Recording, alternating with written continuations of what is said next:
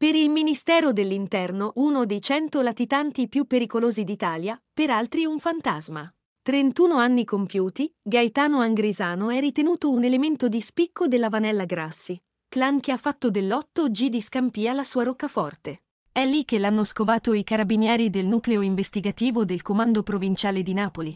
Per un anno e mezzo è sfuggito alle manette, nonostante una condanna a 10 anni di reclusione pendente per associazione per delinquere finalizzata al traffico di stupefacenti. I militari hanno seguito le sue tracce, svolgendo indagini tecniche e tradizionali.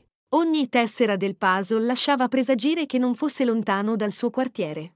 E questa notte, più di 250 carabinieri hanno letteralmente cinturato il lotto G, impossibile entrare o uscire. Hanno perquisito tutte le abitazioni a blocchi di edifici e lo hanno stanato. Invitato ad una festa, Angrisano ha dovuto lasciare amici e parenti subito dopo la torta.